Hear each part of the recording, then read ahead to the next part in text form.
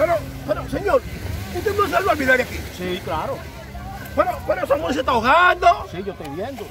Pero señor, si usted salva vida de aquí, ¿por qué usted no va la salva? Lo que pasa es que esa es mi mujer y estoy esperando el final para celebrar. ¡Soy libre! ¡Libertad!